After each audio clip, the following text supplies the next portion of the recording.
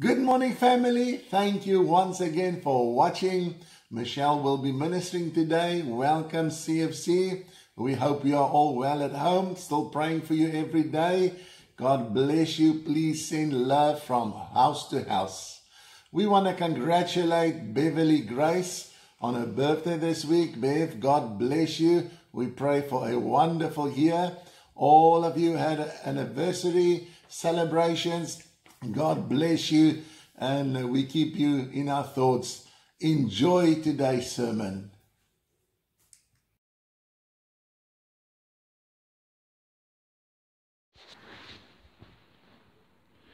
Hi, Community Family Church.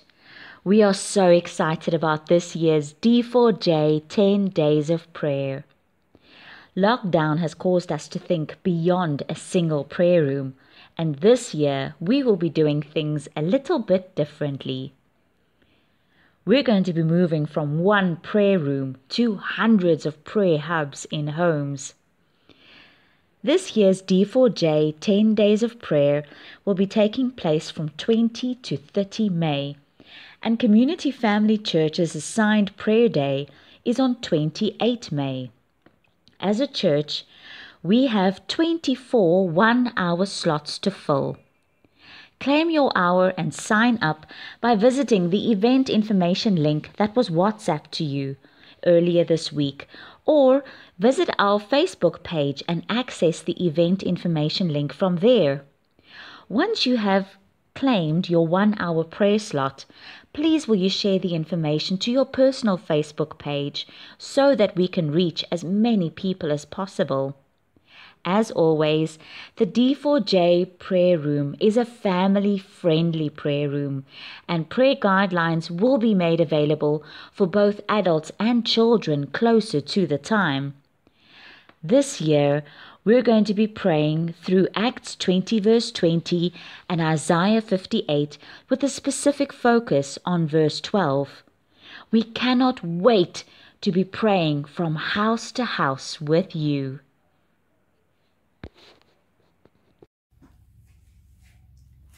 Good morning, community, family, church, and everybody joining us on social media. It's such a joy and a privilege to be coming to your homes again this morning and to be ministering the word. We miss you deeply and we love you and thank you for all the messages. It's so wonderful to just make contact and stay in contact. So I hope that you can have a wonderful time in the presence of the Lord with us this morning again. My message to you this morning is created to bring God glory. You have been created to bring God glory. Now, to hear it is one thing, but to say it with your own voice and your own lips, um, that's quite another thing. And the realization really sinks in when we say it with our lips. I have been created to bring God glory.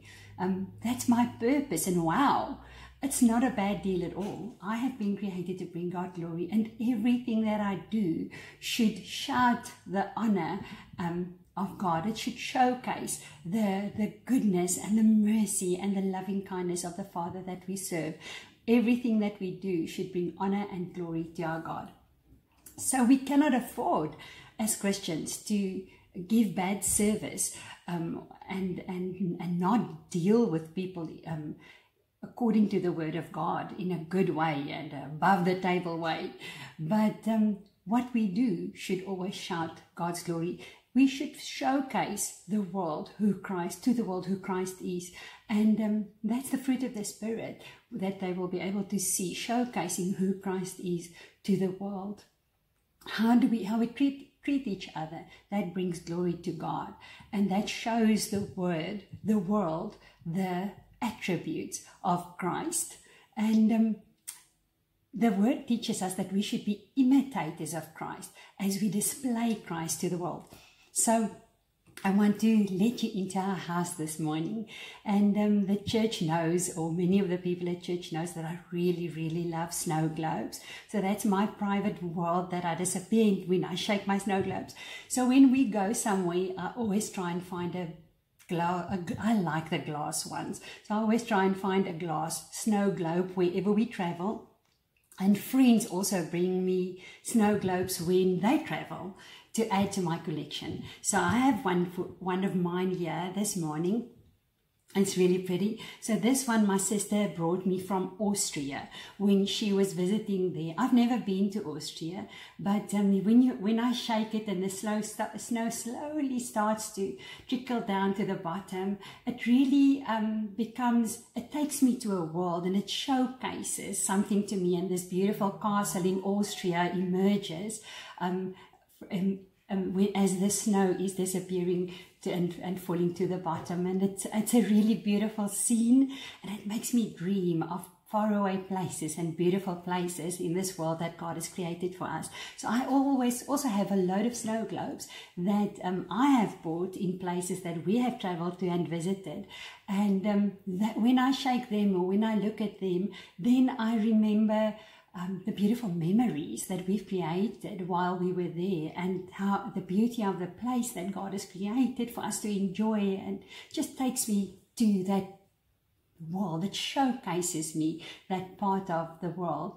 And um, some of my snow globes uh, somebody once said yo it's so beautiful and uh, she was referring to one of the globes that I bought while we were on holiday. My mom and my stepdad lives in Portugal. So while we were in Portugal, and um, the customs officials refused to let me take my snow globes through customs because um, they said it contained liquid. But they are so fragile, the glass snow globes, I couldn't put them in my in, in my luggage. I had to carry them on. And um, the, I was so upset with what they did. Um, it, it, was a long story. They cancelled our flights and we haven't had any sleep for 48 hours. And eventually we were about to, to board this flight to rush to South Africa to be in time to do a wedding on the west coast. So um, it was a lot of pressure. And now they wanted to take my snow globes. The only gifts that I bought myself uh, in Portugal and, and Spain, where we were in holiday in Europe. So I just collapsed and I had a, my, my suitcase, my travel on luggage, luggage is pink. So I fell down on the steps right there where everybody had to walk through and, um, and I held onto my suitcase with my snow globes and I cried. So my family, they ran in different directions. The kids, they were still small. The kids, my mom, Chris, everybody ran away and left me right there with my luggage crying. So I was sitting crying um, with holding onto my suitcase. And this poor customs official had no idea what to do with me. And everybody um, had to walk past me to, to try and squeeze through to go through customs. And eventually he called his supervisor, who then really by that time just wanted to get rid of me and um, told me to just go, take my globes and just go through. So I said to the lady, I cried for these. So, so they, they have memories, there's memories attached to these snow globes. So as they showcase this world or this part of the world to me, it brings back memories and or, or I dream of these places. And so that's my thing. You might have something else, but it's just an example of how something showcases. And we as Christians, we are pretty much the same. We showcase to the world who Christ is because we are carriers of Christ. So when people look at us and, and see us, do they want what we have? Do they desire what we've got? Does when they look at us, is that the God that they want to serve, the one that they see that we are reflecting in our everyday life? What we do now makes even more sense the importance of how important it is to to um, to showcase Christ and be a good reflection of who Christ is, being imitators of Christ to the world.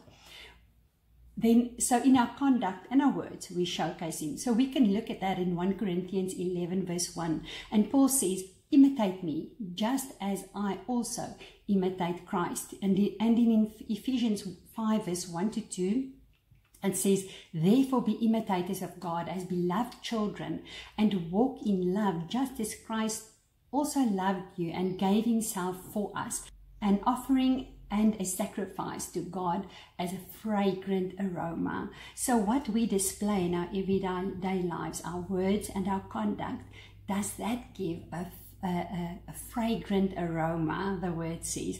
Is that something that the world would desire when they look at us?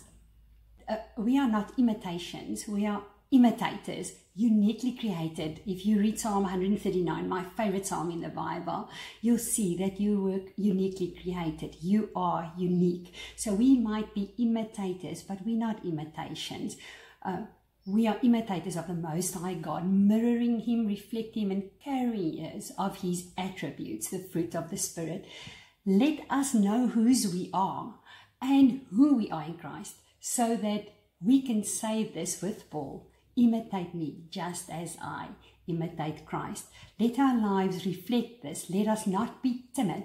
Let us be bold and let us be courageous. Because of the God that we serve, Christ in us, the hope of glory. Colossians 1.27 says, To whom God was pleased to make known what is the riches of the glory of this mystery among the Gentiles, which is Christ in you, the hope of glory. So let us be real. No flaky, fakey granola bar Christians. Let us walk the walk and let us talk the talk. There's more than enough people who talk the talk and don't walk the walk. But as Christians, let us talk the talk and walk the walk. Let us be doers. Scripture says, we all have sinned and fall short of the glory of God in Romans 3.23. But the scripture also gives us the answer of how to fix it, the way out. Hebrews 4:16 says, "Let us therefore come boldly to the throne of grace, that we may obtain mercy and find grace to help in a time of need." Hebrews 10, 10 verse 16 to 25 also speaks of boldness.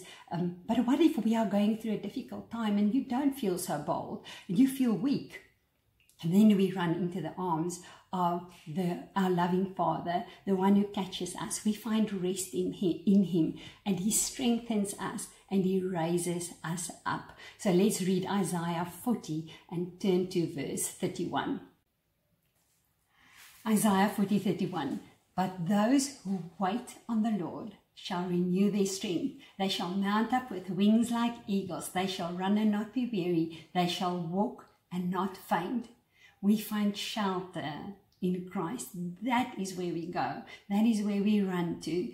As children of the Lord, He's the one who strengthens us and equips us for whatever it is that we'll find uh, face in life. So what are we? Are we turkeys or are we eagles? Turkeys muck around in the dirt.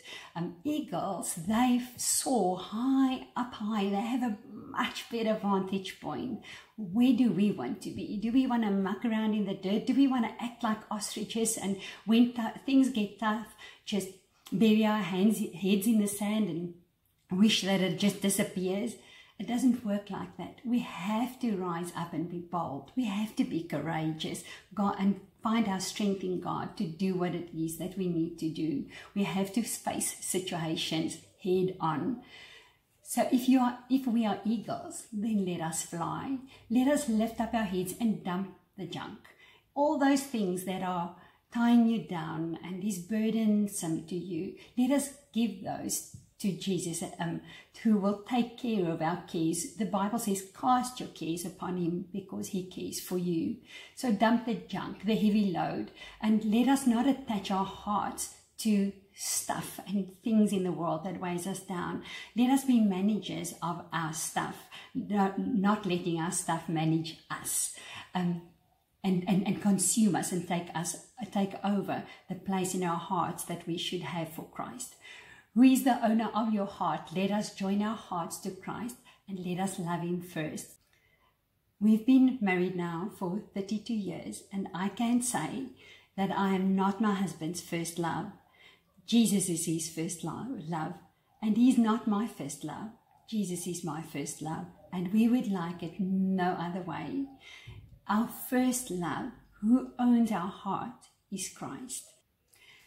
Our identity is found in Christ. Our security is found in Christ. And everything else flows from that. So, who are you? 1 Peter 2, verse 9 says, But you are a chosen genera- generation, a royal priesthood, a holy nation, God's own special people. That you may proclaim the praises of him who has called you out of darkness and into his marvelous light. That is who you are. This is one of the scriptures that God also gave us when we planted the church, and we still hold on to this scripture. It's identity crisis um, diverted. We know who we know who we are in Christ. We are His, and our hearts belong to Him, and He loves us completely. So we you we have to know whose we are. Otherwise, it's very difficult to be bold and courageous. Don't let criticism make you stumble or trap you. Let it make you strong and let it make you courageous. If it's rubbish, then it doesn't deserve your time in any case. So dump the junk. Just let it go. Ignore it. It's not worth your time and it's not worth your tears. Do you know the truth of the situation? Does God know the truth of the situation? Then that settles it. You don't have to fight. You know and God knows, and that's enough. We're going to stand before God one day. We're not going to stand before man. It's not your burden to carry other people's offenses. So don't give that time. That is a trap that the devil sets for us to carry pe- other people's offenses deal with it and then move on. So I want to share something with you. Um, I always tell Chris he overshares at church, and it feels sometimes it just feels like we live in a fishbowl. But um, so I'm going to overshare a little bit today. For those of you who've been with us for many years, you'll remember this. This happened many years ago. But as you know, we are really very Afrikaans. So English is our second language and very second. So very Afrikaans. And then sometimes when we translate from Afrikaans to English, doesn't work out so well for us. And it's, it's been the source of much laughs. Our English has been the source of much laughs and entertainment and great embarrassment to us. But we're okay. We, we carry on. So this happened many years ago.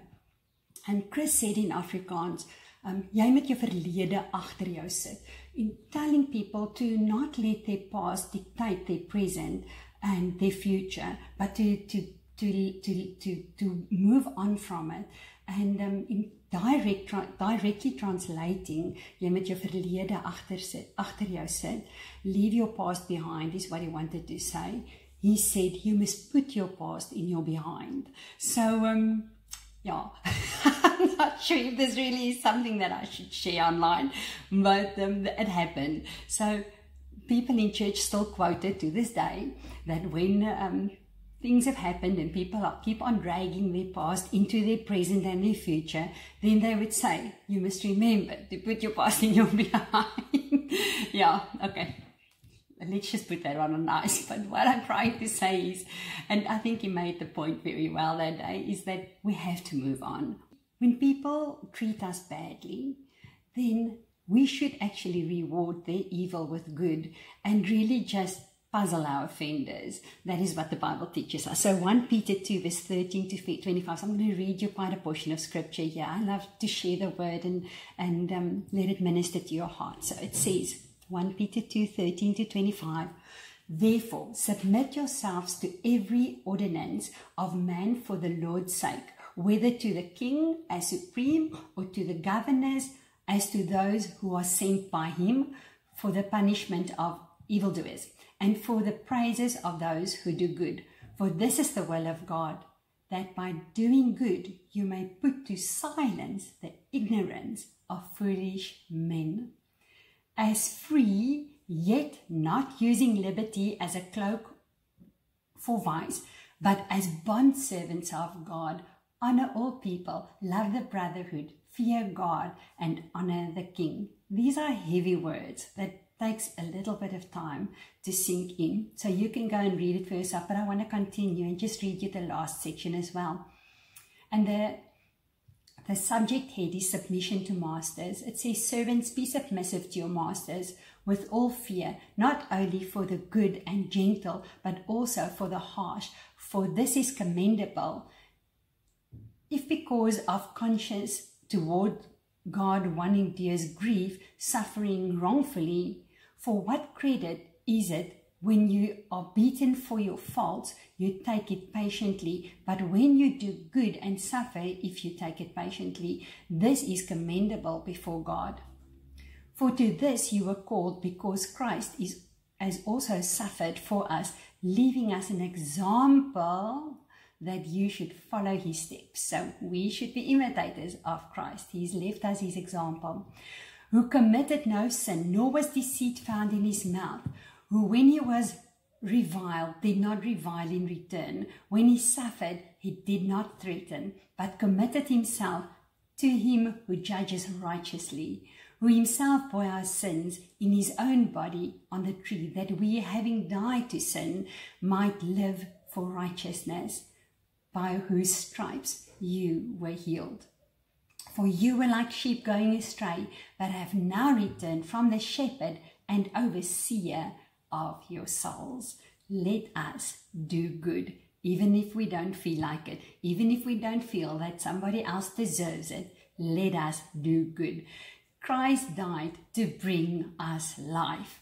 Let us show people and showcase the joy. It's a fruit of the Spirit of the Lord. Let us showcase that it is a wonderful, wonderful life to live for Christ and have Christ as our Savior. We should not walk around with sour faces like we were sucking on some lemons for, a lo- for an extended period of time. Who would want to serve a God like that, looking at Christians who are continuously angry and mad and sour and, and, and unhappy? And nobody wants that. Let us live a life that people want to imitate Christ when they see how we imitate Christ, that they want to be children, become children of God, and live that life, that Christ like life. Let us live a life that makes people desire to serve Christ when they see how we live and imitate Christ. When we give our hearts to Jesus, it's not the end, that is just the beginning. We have a life to live. Let's live our lives and enjoy it. Let us grow in Christ. Let us become saturated in His Word. Colossians 1 verse 16 to 17 says, For by Him all things were created that are in heaven and that are on the earth, visible and invisible, whether thrones or dominions or principalities or powers. And here it is, the theme of our message this morning. All things were created through Him and for Him and he is before all things, and in him all things consist. And he is the head of the body, the church, who is the beginning, the firstborn from the dead, that in all things he may have preeminence. We are created to bring God glory. It says all things were created through him and for him in verse 16. We were created to bring him glory. Let us live our lives and bring God glory. Let us put him first before all else. The young people today have a saying, they say that be, that person is the bay, the B-A-E, be they before all else. Christ should be our before all else. This is just the beginning. So begin. See your life as a brand new book with many crisp white pages, a story not yet written, but a wonderful journey that awaits you. Become excited. Christ has so much in store for you, so let your journey begin with Him. The Bible teaches us that knowledge can puff, puff us up, but when we apply knowledge, that is wisdom. So, wisdom is the application of knowledge. It was never meant to make us look good. It was never meant um, to be used as a weapon or to demean others or make them feel insignificant or inferior. Wisdom is a tool to help us. It's something to help us and assist us um, to, to, to bring life to other people. When we apply and use knowledge, the knowledge God gives us, He'll also grow and multiply the wisdom in our lives. It was given for us, but it was also a gift given to us for others because Christ has people in mind. Read the word and spend time with God. Pray, become part of your church family. Find your place where you can serve the body of Christ. We together globally, we are the body of Christ. Not one person is the body of Christ. One is the hand and the foot and the ear, but together, globally, we are the church. The Christian church is the body of Christ. The sin situation, God brings life. He is a life giver. He doesn't suck the life out of you. He brings life. He died to bring you life. He gives life to overflowing. So let us stand up and be counted in God's kingdom. Remember, we said, your identity is found in Christ. We read the scripture in 1 Peter 2, verse 9. Your identity is found in Christ. I'd like to share these scriptures with you quickly. It's found in Galatians 2, verse 20, and it says, I have been crucified with Christ, and I no longer live, but Christ lives in me. The life I now live in the body, I live by faith in the Son of God, who loved me and gave himself for me. Our identity is in Christ. John 15, 15. I no longer call you servants because a servant does not know his master's business. Instead, I have called you my friends. We are Christ's friends. For everything that I learned from my Father, I have made known to you. Our identity is in Christ. Ephesians 2 verse 10, for we are God's handiwork, created in Christ Jesus to do good works, which God prepared in advance for us to do. And then in Philippians 3.20 and 2 Timothy 1 verse 7, it says, but our citizenship is in heaven. And we eagerly await a Savior from there, the Lord Jesus Christ. That is who we are. Our circumstances do not define us. People do not define us. Our wealth or lack thereof, that does not define us. The Word of God, that defines us. And we've read these scriptures. Read it out loud when you're at home and say it so that your ears can hear it. The words says faith come by hearing and hearing the Word of God. Say it until you believe it. I know sometimes life is tough, tough and um, that's why it's called life. And the reason why we need faith. Without difficult situations, faith would be superfluous. We cannot please all the people all of the time. Neither do difficult times remain, eternally. Tough times don't last. Tough people do. 2 Corinthians 12 verse 10 says, Therefore I take pleasure in infirmities, in reproaches, in needs, in persecutions, in the distresses for Christ's sake. Yo, that's rough. For when I'm weak, I'm strong. And this is the key. No matter how tough your situation, when you're weak, you are strong because you are a carrier of Christ. We have the better covenant, the better deal. Even at our lowest, even at our weakest, we are strong because Christ is in us, the hope of glory. You are Christ's original. You are his masterpiece. You showcased him to the last. You are bold. You are a royal priesthood, we read, a holy nation, and you are God's own special people, created to do good. You are wise, you are sanctified, your identity is in Christ. You are tough, you are strong, you are courageous, you are specially created to bring glory to God. All things were created for Him and through Him. Colossians 1 verse 16 we read, We are created for Him we are created to bring Him glory. You are created to bring Him glory. I hope that this message has blessed your heart and that you see the value that Christ sees in you. This care, the special care that He took when He created you, and the huge dreams that He are dreaming for your He is dreaming for your life. And I pray that this word will really mm, grow in your heart and that your mind will start to um, accept these words and, and understand and start to believe it so that you can start to live it.